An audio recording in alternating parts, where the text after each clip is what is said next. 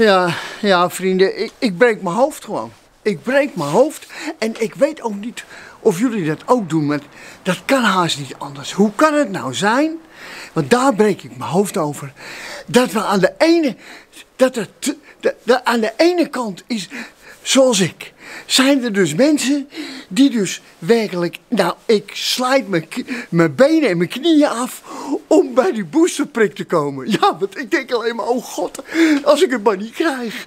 Ja, als ik al even, even, even dan denk ik oh god, ik heb corona. Ik moet, eh, is er nog iemand ergens met een prik? Weet je wel? En dat heb ik de hele tijd in me. Dus daar ben ik mee bezig. Alleen maar. En, en nu krijg ik dus volgende week, krijg ik gelukkig mijn boosterprik. En je, we hebben gezien lange rijen in Nederland. Overal, midden in Nederland. Allemaal mensen die ook een boosterprik willen hebben. Dus mensen denken bij zichzelf, oh god, als ik het maar niet krijg. Ja, want je leest al die verschrikkelijke verhalen in de kranten. En je ziet het op tv. En je ziet verpleegkundigen allemaal uitleggen hoe erg het allemaal is. En mensen die het niet genomen hebben, die ongevaccineerden, die dan alsnog zeggen van... Oh, had ik die prik maar genomen. Dat lezen we en zien we allemaal.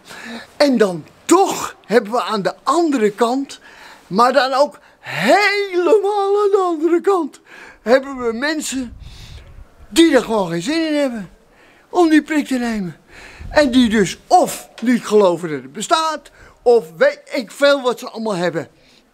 Er zijn wel weet ik veel hoeveel redenen waarom ze niet een vaccinatie willen nemen. Nou ja, en daar zitten we dan. Ja, daar zitten we, ik ook, daar zit ik hier. En daar breek ik mijn hoofd over. Dat dat zo ver uit elkaar kan liggen.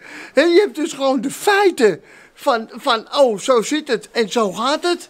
En dan heb je dus een hele groep, behoorlijke, toch een grote groep mensen...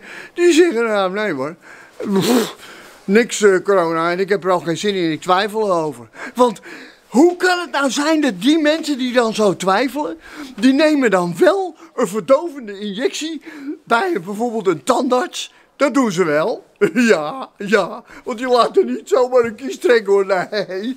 En wat zit daar dan allemaal voor, voor spul in bij zo'n verdovende injectie? En als je geopereerd moet worden, wat denk je dan allemaal bij narcose? Wat daar allemaal gebeurt? En wat er allemaal wordt ingespoten, wat denk je daar dan van? En hoe zit het met die mensen die dus niet ge- gevaccineerd zullen worden? Dat, stel je voor, jij krijgt het en dan neem jij de plek in, bijvoorbeeld van een familielid die een, een hartoperatie had moeten hebben.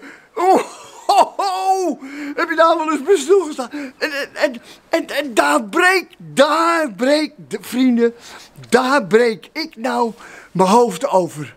En vertel mij nou eens, vertel mij nou eens, vrienden, beste volgers, waarom ik het niet begrijp.